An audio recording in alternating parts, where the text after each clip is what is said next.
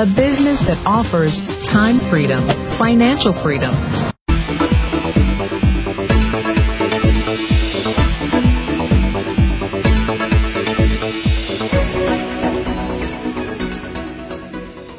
Hi, my name is PJ, and welcome to our short presentation.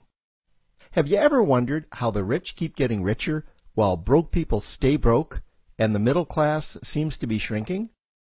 Well, this isn't nearly as mysterious as it may appear when you examine the specific differences in how broke people, the middle class, and the rich spend their money. Now, this is such a simple concept, yet so profound, it nearly knocked me out of my chair when I finally understood it. I'm going to show you exactly how the rich spend their money, and you can evaluate for yourself why they keep getting richer and the broke keep getting broker, and why the middle class remains so stressed out. Now, to get started, I'd like to review some financial terms we'll be using during this presentation.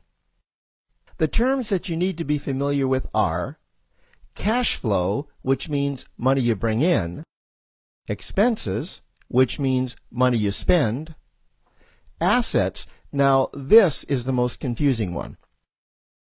You're probably familiar with the traditional definition of an asset, which is something you own or have equity in. However, back in the 1990s, Robert Kiyosaki introduced us to a new definition of an asset in his groundbreaking Rich Dad Poor Dad series of books. Robert taught us that an asset is something that pays you, and that's the definition we'll be using here.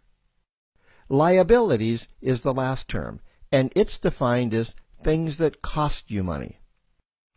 As an example, a house is typically viewed as an asset, but can it actually be a liability? Yes, with our revised definition, anything that costs you money is a liability, not an asset. If you have a mortgage, your house is an asset to your banker because it pays him or her every month. But could a house also be considered an asset to you? Yes, in the right circumstances it could, when it pays you money. Let's say you buy a house and you rent it out, and it paid you a positive cash flow every month after all expenses. That would then be considered an asset.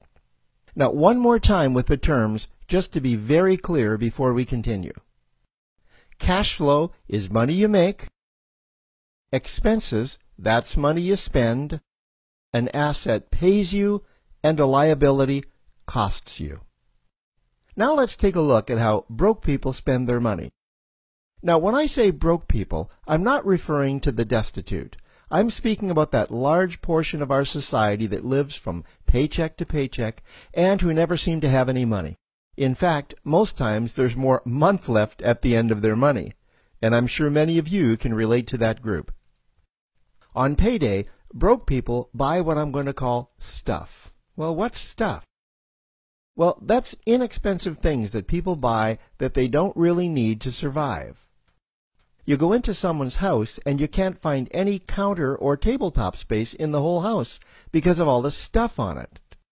Their house and their cars are full and cluttered with stuff.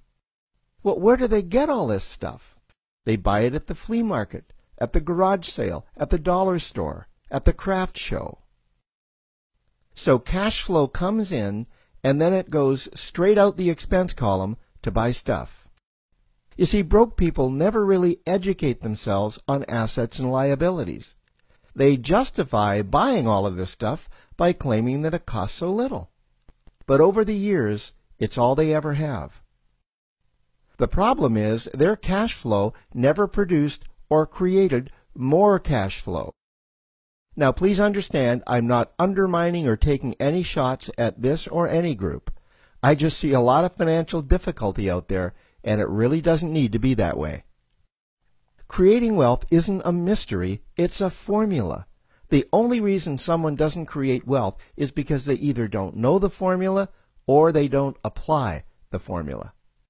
Now let's take a look at the middle class. The middle class is the group that society mistakenly thinks are rich. They're not. Yes, they typically earn a six-figure income, and many of them appear rich, but it's what they buy with their money that keeps them prisoners of the middle class. What they typically buy are liabilities. Remember the definition of a liability?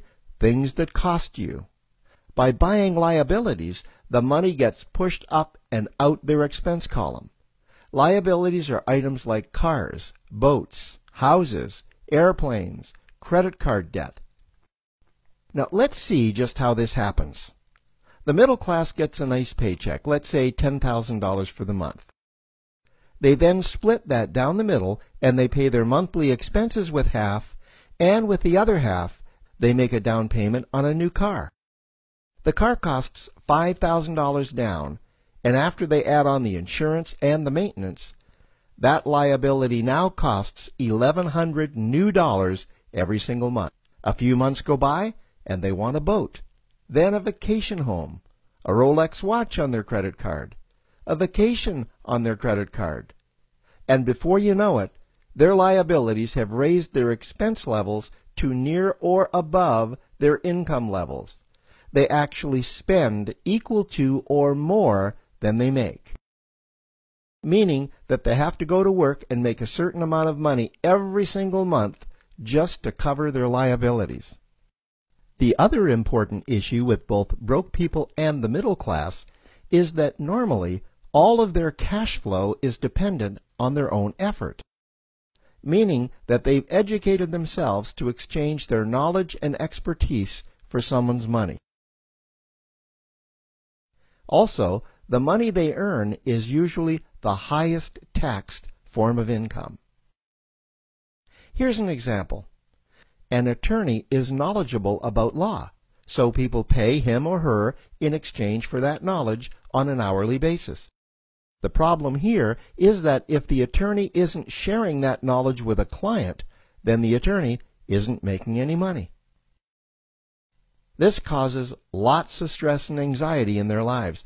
And if you ever ask them to take an afternoon off to play golf with you, well, they very rarely can because of how much money it'll cost them to take that time off. On the surface, life's pretty good. The reality is that it's a roller coaster ride. That's the middle class. Now, I know this group very well because for a great deal of my adult life, that was me. Now let's take a look at how the rich people spend their money. Rich people acquire assets. Again, an asset is something that pays you. If you want to become rich, buy assets that earn you more money. The money cycle looks like this acquire assets that produce cash flow, invest the profits to acquire more assets that produce more cash flow, invest those profits to acquire more assets that produce more cash flow. The rich spend their money and acquire things that produce more money. Here are a few examples of assets that produce more money. Investments are the obvious ones stocks, bonds, real estate. Education is another asset. If you learn how to do something that produces more money for you and you actually do it, that's buying an asset. There's a great quote that goes, If you think education is expensive, you should see how expensive stupidity is. Another example of assets you can acquire that pay you are cash generating opportunities, especially those opportunities that can create a passive cash flow. Passive meaning that once you build it up, the money continues to flow whether you're still building it or not. Here's a small example. Let's suppose you bought a pinball machine and you put it in a barber shop, and you don't spend any of the profits. You save them until you can buy another pinball machine and put it in another barber shop. This, by the way, was Warren Buffett's first business. If you don't know who Warren Buffett is, He's one of the top two richest men in America. The rich are extremely eager to find those passive cash generating opportunities because those opportunities continue to pay them month after month, year after year, long after they've stopped working the opportunity. You know, I see this happen again and again with successful entrepreneurs. They find a passive cash flow stream that they build up, and it continues to pay them month after month, year after year. They then take those profits and multiply them in another passive cash generating opportunity and then again in another. In conclusion, here's what I've learned over the years. You can't find these passive cash generating opportunities unless you're open to hearing about them. Then, once you find them, you must be willing to see what fits you and then act. Now, the reason I say this is that I once answered a hokey little ad that I ended up generating seven figures from, simply because I answered that ad and then took action. These opportunities are out there, you just need to find them. You also must be opportunistic enough that when the right situation does present itself, you don't miss it. So remember, broke people buy stuff, the middle class buy liabilities, and the rich acquire assets, preferably cash generating opportunities that can create passive cash flow. They then take that cash flow and invest it in another asset that produces more cash flow. That's the wealth creation formula. Now, I trust you found this introductory information helpful. Now, to learn about one of the greatest cash generating machines on the planet, click on the link below to proceed to step two.